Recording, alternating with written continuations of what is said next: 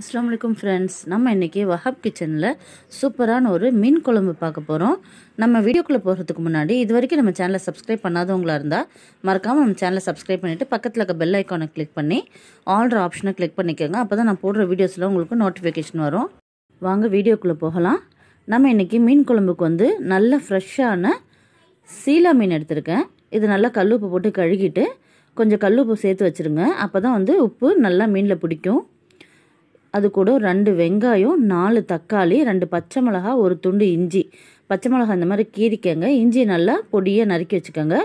அரை முடி தேங்காய் நல்லா பட்டு போல் அரைச்சி எடுத்து வச்சுருங்க.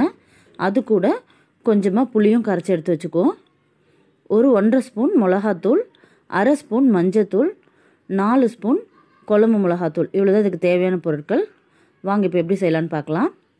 நான் இன்றைக்கி வந்து மீன் குழம்பு வந்து மண் சட்டியில் தான் செய்ய போகிறேன் மீன் குழம்பு வத்த குழம்பு எல்லாம் மண் சட்டியில் செய்யும்போது அதோட டேஸ்ட் ரொம்ப சூப்பராக இருக்கும். அதே மாதிரி ஒரு டிப்ஸ் சொல்கிறேன் மண் சட்டி எப்போவுமே அடுப்பில் வைக்கிறச்ச எண்ணெயை சேர்த்துட்டு அதுக்கப்புறமா ஆன் பண்ணுங்கள் அடுப்பை. எப்போவுமே சட்டி காஞ்ச அப்புறம் நம்ம எண்ணெய் சேர்க்கக்கூடாது. அப்படி நீங்கள் சேர்த்திங்கன்னா வந்து சட்டி வந்து வீரில் விட ஆரம்பிச்சிடும் எண்ணெய் காஞ்சிடுச்சு இப்போ நம்ம இதில் வெந்தயம் சேர்த்தாச்சு. அதனால தான் நம்ம வந்து சட்டியில் எப்போவுமே எண்ணெயை சேர்த்துட்டு அடுப்பில் வைக்கிறச்ச உங்களுக்கு அடுப்பில் வந்து அந்த சூடு வந்து தாங்கும்போது எண்ணெய் இருக்கிறதுனால அது அவ்வளோ சீக்கிரமாக உங்களுக்கு வந்து ரொம்ப த காஞ்சி போன மாதிரி இருக்காது. இல்லைனா நீங்கள் வந்து நம்ம அலுமினிய சட்டியில் சில்வர் சட்டி வைக்கிற மாதிரிலாம் எப்போவுமே வைக்கக்கூடாது. எண்ணெய் சேர்த்துட்டு வைக்கும்போது சட்டி ரொம்ப நாளைக்கு நல்லாயிருக்கும் இப்போ இதில் நம்ம நறுக்கி வச்சுருக்க அந்த இஞ்சியை சேர்த்துருவோம். இஞ்சி சேர்த்து நல்லா கலந்து விடுங்க. இஞ்சி வந்து நல்லா வாசனையாக இருக்கும். நீங்கள் இந்த மாதிரி நறுக்கி போட்டு பாருங்கள் மீன் குழம்புக்கு. இப்போ இதோட நம்ம கொஞ்சமாக கருவேப்பிலையும் சேர்த்துக்கலாம். அதோடு நறுக்கி வச்சுருக்க வெங்காயம். ரெண்டு வெங்காயம் நறுக்கி வச்சுருக்கோம் இல்லையா? அதை அப்படியே சேர்த்துருவோம் இதில். மீன் குழம்பு எப்போவுமே செஞ்சுட்டு மறுநாள் சாப்பிடும்போது ரொம்ப டேஸ்ட்டாக இருக்கும். அதுவும் நம்ம இந்த மாதிரி மண் சட்டியில் செஞ்சு அதை எடுத்து வச்சுட்டு மறுநாள் சாப்பிட்றப்ப இன்னும் டேஸ்ட்டாக இருக்கும். இப்போ பாருங்கள் வெங்காயம் நல்லா வதங்கிடுச்சு. இப்போ இதில் நம்ம நறுக்கி வச்சுருக்க பச்சை மிளகாவை சேர்த்துடலாம். பச்சை மிளகாய் எப்போவுமே எதில் போட்டாலும் இப்படி கீரி போடுங்க. இல்லைனா வெடிக்கும். அதனால தான் இந்த மாதிரி கீரியில் உடச்சி போடணும்.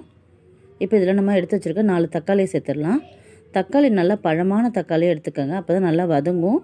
குழம்பும் நல்லா டேஸ்ட்டாக இருக்கும். இப்போ தேவையான அளவு கல் உப்பு சேர்த்தாச்சு. தக்காளி நல்லா வதங்கட்டும். இப்போ நம்ம லேசாக கலந்துட்டு இதில் வந்து ஒரு மூடியை போட்டு நம்ம மூடி வச்சுருவோம். கொஞ்ச நேரம்.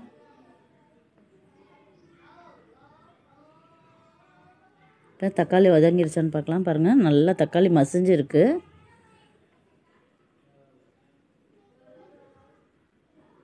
நல்லா மசிஞ்சிருக்கு தக்காளி.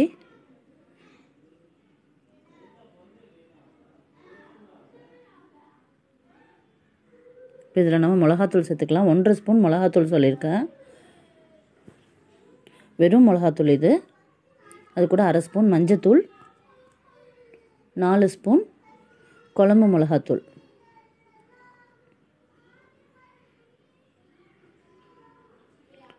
நல்லா சேர்த்து கலந்துட்டு சேர்த்துட்டு நல்லா கலந்துக்கங்க. இந்த மசாலாலாம் வந்து எண்ணெயிலே நல்லா வதங்கிட்டோம். மசாலா இப்படி எண்ணெயில் வதங்குறப்ப அந்த குழம்போட கலரும் நல்லா கிடைக்கும். அந்த மசாலா வாசனையும் சீக்கிரமாக போகும். நல்லா தன் எண்ணெயில் கலந்துட்டு இப்போ நம்ம இதில் கரைச்சி வச்சுருக்க அந்த புளி எடுத்து சேர்த்துக்கலாம்.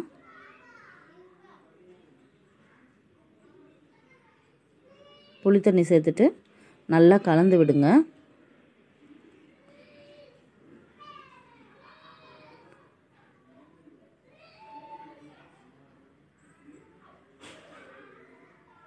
இப்போ குழம்புக்கு தேவையான அளவு நம்ம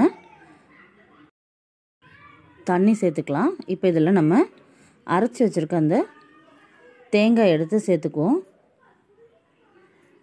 அரை முடி தேங்காய் சொல்லியிருக்கேன். நல்லா பட்டு போல் அரைச்சிக்கோங்க. சின்ன தேங்காய் தான். தேங்காயை சேர்த்துட்டு நல்லா கலந்து விடுங்க. இப்போ இதில் காரம் வந்து உப்பு காரெல்லாம் நல்லா பார்த்துக்கோங்க இப்போ இதை நம்ம ஒரு மூடி போட்டு மூடி வச்சுருவோம். மசாலா நல்லா கொதிக்கணும். மசாலா நல்லா கொதிச்ச அப்புறம் தான் நம்ம எப்போவுமே மீன் போடணும். மீன் வந்து ஒரு பத்து நிமிஷத்தில் வெந்துடும் அதனால நல்லா மசாலா வாசனை போன அப்புறம் தான் நம்ம மீனை சேர்க்கணும். நல்லா கொதிக்குது பாருங்கள் குழம்பு. இப்போ இந்த ஸ்டேஜில் நம்ம வந்து எடுத்து வச்சுருக்க அந்த மீனை வந்து சேர்த்துடலாம். நல்லா கொதிச்சிருச்சு குழம்பு. இந்த பச்சை வாசனைலாம் நல்லா போயிடுச்சு.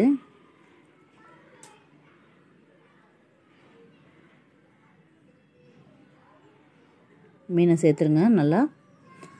மீன்லேயும் நல்லா உப்பு பிடிச்சிருக்கும். ஏன்னா நம்ம உப்பு சேர்த்து வச்சுருக்கிறதுனால மீனில் நல்லா உப்பு பிடிச்சிருக்கும். இப்போ மீன் சேர்த்தாச்சு. அடுப்பை கொஞ்சமாக குறைச்சிட்டு வச்சுருங்க. அப்போ தான் நல்லா வந்து குழம்பு நல்லா கொதிக்கணும். அதனால தான் அடுப்பு ரொம்ப தூண்டி வைக்கக்கூடாது மீன் சேர்த்ததுக்கப்புறம் நல்லா அடுப்பு வந்து பாதியாக குறைச்சிடணும்.